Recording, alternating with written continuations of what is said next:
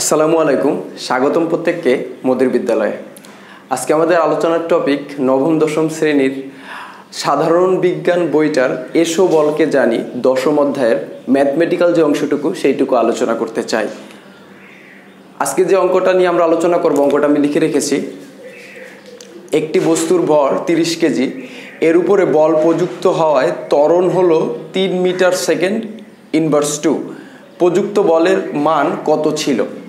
এখন এখানে এই অঙ্কগুলো করতে গেলে কিংবা এই বলের অধ্যায়ের অঙ্কটা যখন আমরা করব, তখন একটা সূত্র দরকার হবে। সূত্রটা একদম ইনশর্টে বলা হয় F equal to M A এখন আমি একটু সূত্রটা নিয়ে বলি। এ এফ অর্থ হচ্ছে হলো ফোর্স এম অর্থ হচ্ছে হলো ম্যাস এ অর্থ হচ্ছে হলো অ্যাক্সেলারেশন এই ফোর্স অর্থ হচ্ছে হলো বল। আগে মিনিংগুলো আমার একটু বোঝা দরকার আছে। ফোর্স অর্থ বল ম্যাস অর্থ ভর। এ অর্থ অ্যাক্সেলারেশন তাহলে আমি যখন এখানে আমি উপরে লিখে রাখছি তোমরা যদি চাও এটা খাতায় তুলে রাখতে পারো। তো এই জিনিসগুলো একটু জানা দরকার যে এফ ইকুয়াল টু কি এম মানে কি এ মানে কি? আমি সেই অনুযায়ী উপাদানগুলা দেখব। যে আমার প্রশ্নের ভিতরে একটি বস্তুর ভর দেওয়া আছে তিরিশ কেজি। তো আমি এখানে ভরের এখানে দাঁড়াইতে পারি, ভর দেওয়া আছে তিরিশ কেজি। তো ভর পাইলাম আমরা। ভর অর্থ কি? ম্যাচ দেওয়া আছে অঙ্কে। এবং দেওয়া আছে যে ত্বরণ হলো এত মিটার ইনভার্স টু। এত মিটার সেকেন্ড ইনভার্স টু। তাহলে এটা দেওয়া আছে ত্বরণ যেহেতু, সেহেতু অ্যাক্সেলারেশন। তাহলে এম এর মান দেওয়া আছে এবং এ এর মান দেওয়া আছে। তাহলে আমার এফ এর মানটা নির্ণয় করতে হবে। তাহলে আমরা এক নম্বর দিয়ে যদি এখানে এভাবে লিখি, F equal to M A. এখানে ম্যাস ম্যাস দেওয়া আছে কত? তিরিশ কেজি। তাহলে আমরা এখানে লিখতে পারি তিরিশ কেজি। এটার সঙ্গে এটার গুণের সম্পর্ক, তো গুণ দিলাম। এই এ এ দেওয়া আছে কত? তিন meter second.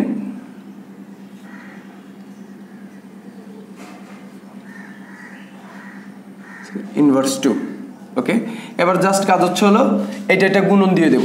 তিন তিন, নব্বই এবার একটা কথা কথা হচ্ছে হলো কি, যে আমরা এই যে নব্বই যেটা বের করলাম, এটা কি? ফোর্স আমার প্রশ্ন করছে প্রযুক্ত বলের মান কত? আমরা জানি ফোর্স সমান সমান বল।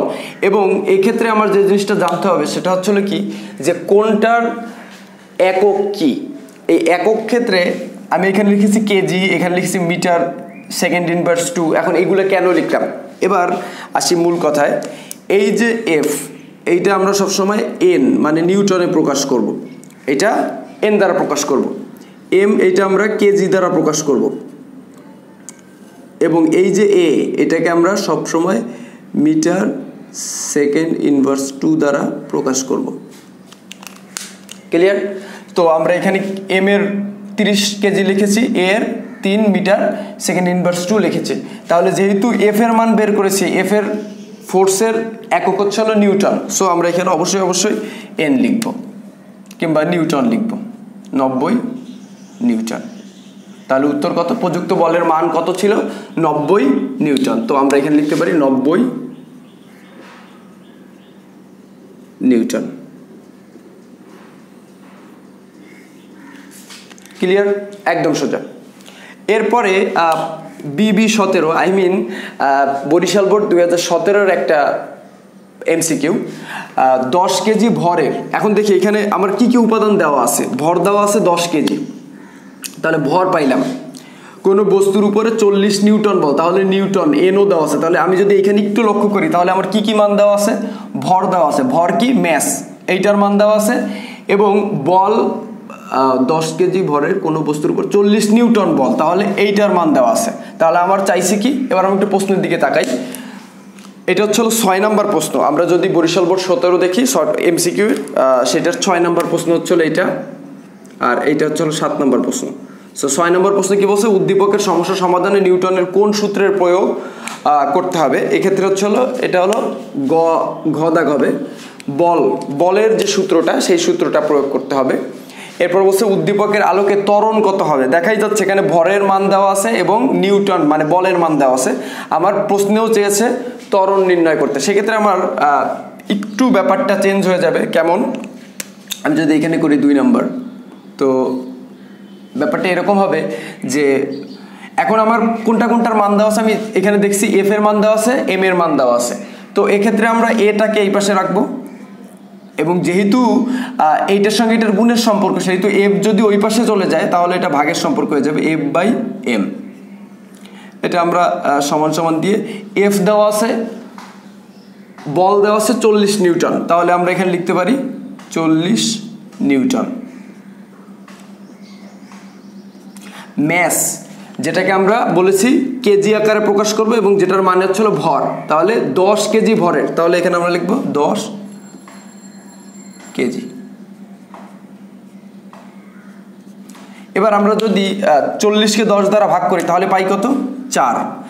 এবার একটু ইম্পর্ট্যান্টলি মাথায় রাখতে হবে, এখানে কিন্তু আমি লিখেছি মিটার সেকেন্ড ইনভার্স টু তাহলে এখানে আমরা অবশ্যই মিটার সেকেন্ড ইনভার্স এই ইনভার্স টু এইভাবেই লিখব।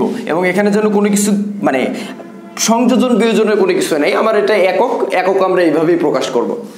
তাহলে এবার আমরা যে অপশনগুলোর দিকে লক্ষ্য করি, তাহলে চার মিটার সেকেন্ড ইনভার্স টু আমাদের ক নাম্বারই হয়ে যাচ্ছে। তো আমরা আনসার দেখাবো ক। এটাও আনসার না, এটাও আনসার না, এটাও আনসার না। তো এভাবেই অঙ্কগুলো করতে হয়। তোমরা যদি টেস্ট পেপার সলভ করার সময় কিংবা বোর্ড কোশ্চেন সলভ করার সময়, যদি কোনো অঙ্ক করার সময় কোনো সমস্যা ফেস করো, তো আমাকে কমেন্ট বক্সে তোমরা একটু জানাইতে পারো, কিংবা আমাকে ইনবক্স করতে পারো। তো পরবর্তী দিন আমি তরিতের অধ্যায়ের যে ম্যাথটা আছে, সেই ম্যাথটা নিয়ে তোমাদের সামনে হাজির হব। ততক্ষণ পর্যন্ত সবাই ভালো থাকবা, সুস্থ থাকার চেষ্টা করবা, আর আমার জন্য দোয়া করবা। আসসালামু আলাইকুম।